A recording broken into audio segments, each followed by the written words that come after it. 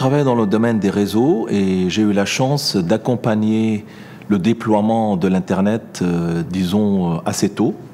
Euh, en particulier, on a participé euh, au raccordement du nœud français au NSFNet en 88. À l'époque, il fallait ajuster des problèmes de communication, d'interopérabilité.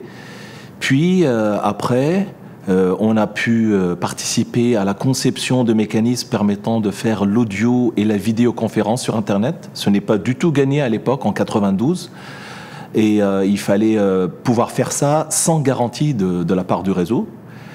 Après cela, euh, plutôt dans, euh, vers la fin des années 90, on s'est intéressé à la diffusion sur Internet à plus grande échelle, que ce soit sur des liens satellites ou autres. Et on a eu pas mal de participation à l'IETF dans ce cadre-là. Et plus récemment, on s'est intéressé au système pair à pair avec les aspects efficacité et euh, protection de la vie privée qui vont avec.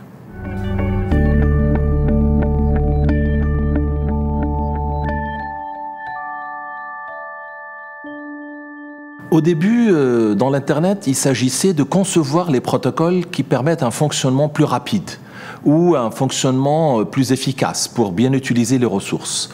Entre-temps, l'Internet s'est quand même déployé, c'est un succès mondial. Et donc aujourd'hui, étant une commodité, euh, le centre d'intérêt est passé plutôt du côté de l'utilisateur. On s'intéresse au fait que l'utilisateur puisse avoir le contrôle sur ses données pour l'accès et le maintien des données, la préservation.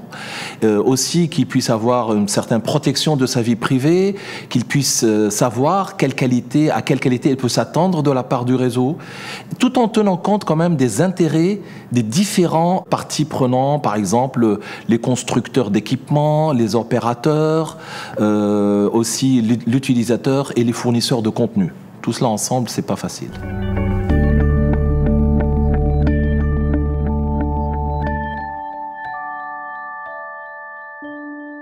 Nous avons travaillé donc dans le passé sur ces aspects donc de conception de réseau. Maintenant, on aimerait bien travailler sur des systèmes qui permettent euh, d'exposer euh, les dégradations des droits euh, de l'utilisateur afin que l'utilisateur puisse avoir accès à l'information, qu'il y ait une certaine transparence dans ce qui se passe dans le réseau pour qu'il puisse réclamer des choses ou qu'il puisse agir en société, par exemple pour connaître la qualité, pour savoir les risques d'atteinte à la vie privée qu'il encourt en utilisant les réseaux et autre chose de ce genre.